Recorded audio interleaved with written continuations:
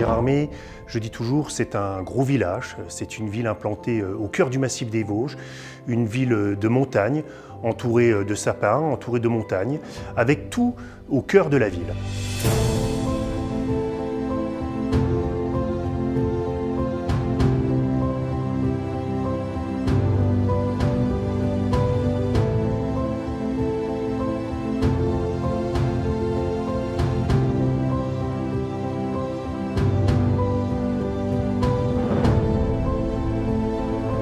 C'est une ville de villégiature depuis, euh, le début des années 1900. Euh, Et puis c'est une ville euh, qui est aussi très sportive.